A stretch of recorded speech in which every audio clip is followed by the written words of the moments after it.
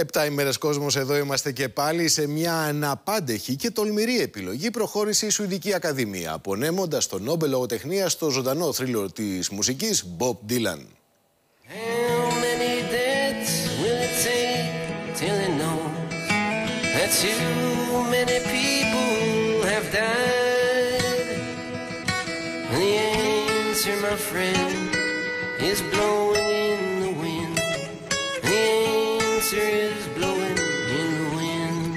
Μέσα από τους στίχους του προσωποποίησε τη διαμαρτυρία, την αμφισβήτηση, την επανάσταση.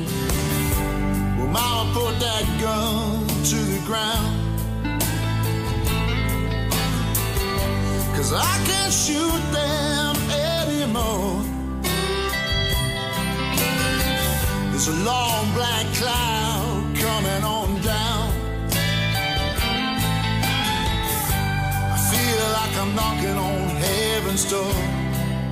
Ο Bob Dylan δεν έβαλε απλώς την ποίηση στη μουσική, αλλά έκλεισε το μάτι σε ένα νέο κόσμο που διαμόρφωνε η ασυμβίβαστη γενιά του.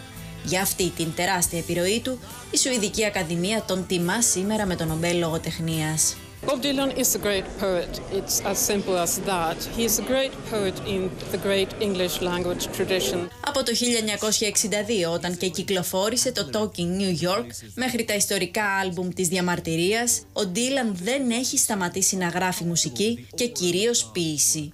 Κομμάτια με συμβολισμούς, πολιτικές και θρησκευτικές αναφορές. Γραμμένο για μια γυναίκα που έχει εκπέσει από την υψηλή κοινωνία και βρίσκεται πλέον μόνη της σε ένα σκληρό κόσμο, το Like a Rolling Stone θα χαρακτηριστεί ως το καλύτερο τραγούδι όλων των εποχών.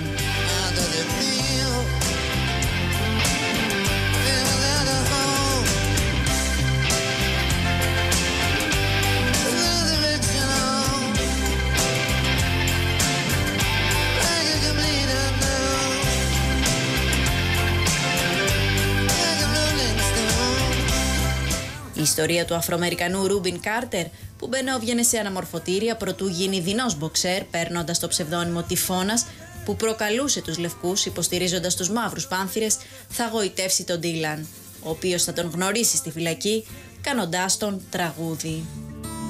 Ο ίδιος θεωρεί τον εαυτό του πρωτίστως ποιητή και μετά μουσικό. Εξού και η επιλογή της Ακαδημίας, η οποία αναφέρει ότι ο Μπομπ Ντίλαν είναι ο μεγαλύτερος εν ζωή ποιητής. Ελάτε τώρα να περάσουμε στις αντιδράσεις γύρω από την βράβευση του Bob Dylan, καθώς η κοινή γνώμη χωρίστηκε σε δύο στρατόπεδα, με τους θαυμαστές του Dylan να μην μπορούν να συγκρατήσουν τον ενθουσιασμό τους, αλλά και τους επικριτές του να υποστηρίζουν ότι αδικήθηκαν πολλοί συγγραφείς.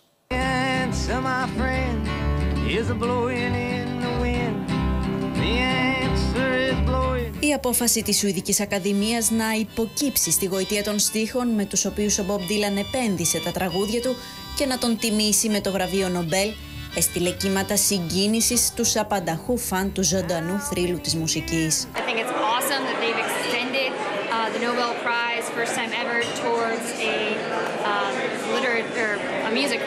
It's great. It's long overdue. He should have gotten that for the lyrics of his songs 50 years ago.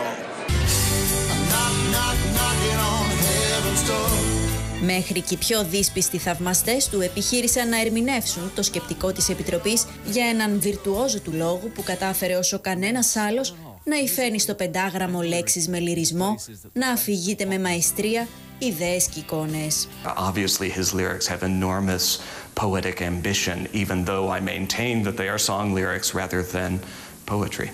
Ο Μπαράκ Ομπάμα μέσω του προσωπικού του λογαριασμού στο Twitter έστειλε συγχαρητήριο μήνυμα στον ροκ ποιητή Dylan. Συγχαρητήρια σε έναν από τους αγαπημένους μου ποιητές, τον Bob Dylan, για τον Νόμπελ που του άξιζε πολύ. Εκτός από τα χειροκροτήματα, ωστόσο, η βράβευση του Ντίλαν προκάλεσε και αρνητικές αντιδράσεις. Ο διάσημος Σκοτσέζος συγγραφέας Ervin Wells, λίγα μόλις λεπτά μετά την ανακοίνωση των αποτελεσμάτων, εξέφρασε με έντονο τρόπο την αμφισβήτησή του. Είμαι ο παδός του Ντίλαν, αλλά πρόκειται για ένα βραβείο νοσηρής νοσταλγίας, βγαλμένο μέσα από τον κόσμο γερασμένων ξεκούτιδων χίπιδων. Ωστόσο, όπως και ο ίδιος ο Ντίλαν έχει γράψει, οι καιροί αλλάζουν. Έτσι, και ο θεσμός που μετρά 115 χρόνια ζωής, που για πρώτη φορά στα χρονικά διεύρυνε τα όρια της λογοτεχνίας για ένα πραγματικό ποιητή, που επέλεξε να μην στριμωχθεί ποτέ σε μια προκαθορισμένη ταυτότητα, αλλά να καθορίζει ξανά και ξανά τη μουσική του, όπως και την ίδια του την ύπαρξη.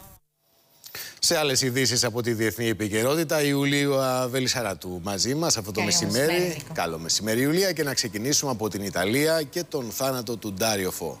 Ένας μεγάλος θεαντράνθρωπος, Νίκο, που σφράγισε τον αιώνα που διανύουμε, αντισυμβατικός μέχρι το τέλος της ζωής του, ο Ντάριο Φω, πέθανε σε ηλικία 90 ετών από πνευμονία.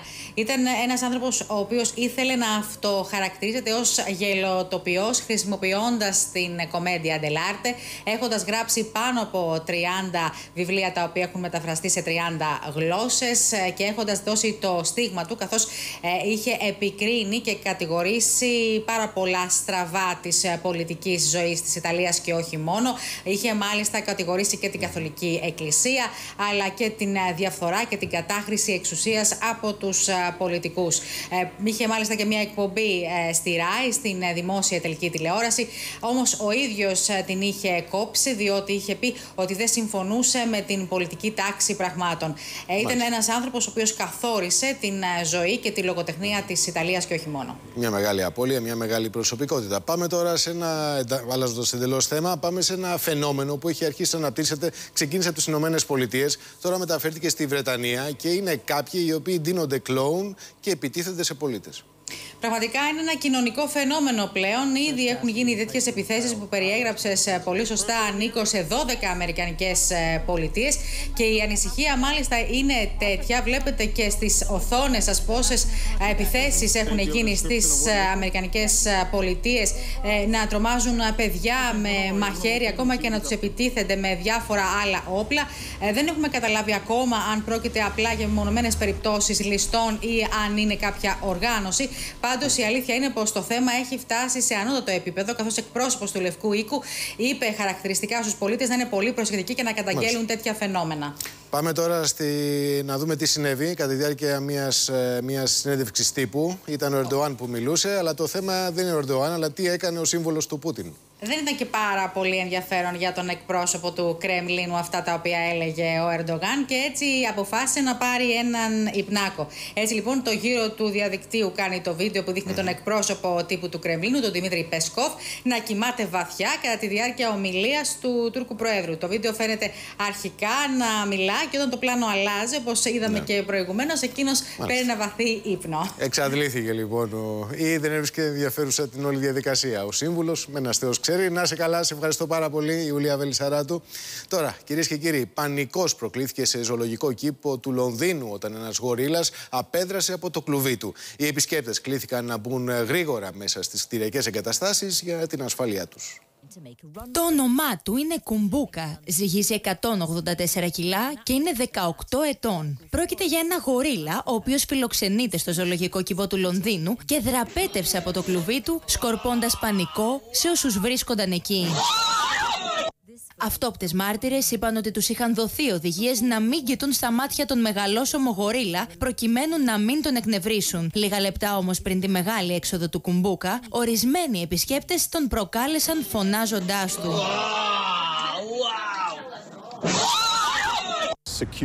Είναι μια πολύ καλά προστατευόμενη περιοχή. Έτσι ο γορίλας δεν είχε το χρόνο να βγει έξω από το ζωολογικό κήπο. Είμαι χαρούμενος που επέστρεψε στο κλουβί του και βρίσκεται μαζί με την οικογένειά του. Όπως μετέδωσε το BBC, ο γορίλας έδειχνε πολύ ανήσυχος και κοπανούσε πάνω στους τοίχου του κλουβιού του πριν τελικά δραπετεύσει. Για μια μισή ώρα, ο γορίλας κυκλοφορούσε ελεύθερο στο ζωολογικό κήπο που βρίσκεται μέσα στο Regent Park σε μια ιδιαίτερος πυκνοκατοικημένη περιοχή του Λονδίνου. Οπλισμένοι αστυνομικοί και ένα ελικόπτερο προσπαθούσαν να τον εντοπίσουν. Τελικά οι αστυνομικοί και οι υπάλληλοι του ζωολογικού κήπου εντόπισαν τον Κουμπούκα, τον οποίο και ακινητοποίησαν με ηρεμιστικά βέλη. Σύντομο διαφημιστικό διάλειμμα και σε πολύ λίγο και πάλι μαζί και πάλι εδώ με όλες τις ειδήσεις και τις εξελίξεις από τον κόσμο της επιστήμης και της τεχνολογίας. Μείνετε στον Sky.